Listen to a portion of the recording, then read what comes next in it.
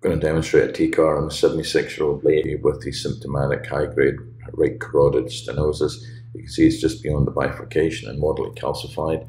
We exposed the carotid artery uh, with the approach between the two heads of sternocleidomastoid.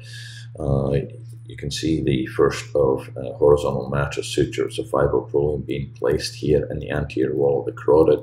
We typically mark the site uh, with a uh, marking pen. We then place these on a rubber shod and leave them off the field. You can see that the needle is now inserted basically up to the check mark. Uh, it's important not to advance this into the back wall or pull the carotid up. We then put a sheath. The sheath also has a check mark. And over the sheath, we advance this um, sheath which comes with the micro access kit. You can see we've advanced it up to the third check mark.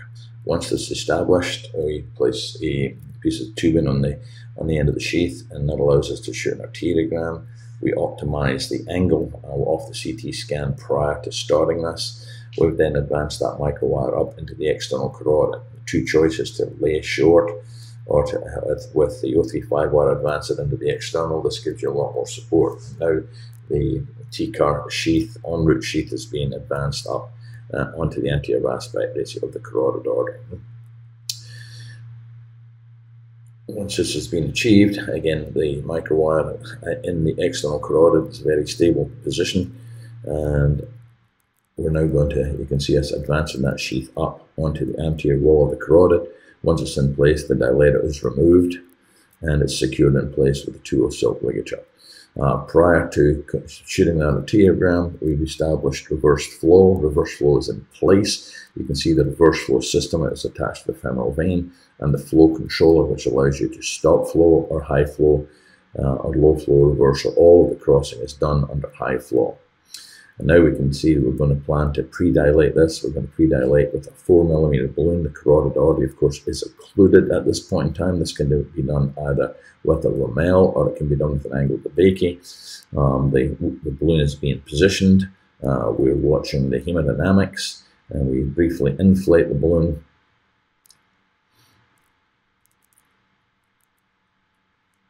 And then remove the, uh, the balloon.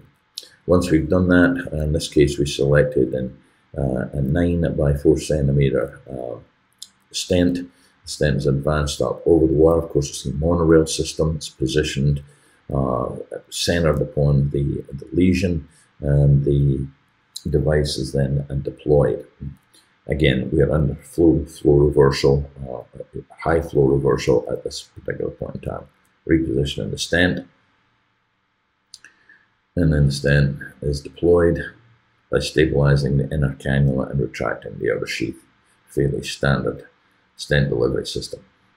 Once we've done that, we uh, remove the stent delivery system, making sure the wire neither advances or retracts.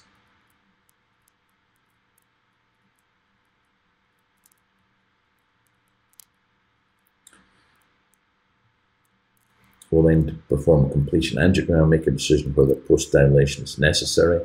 Uh, once the devices are removed, we usually leave it on high flow reversal for approximately two minutes uh, before re-establishing antegrade flow. We, I typically use a Rummel so that you can actually see the carotid occlusion on this.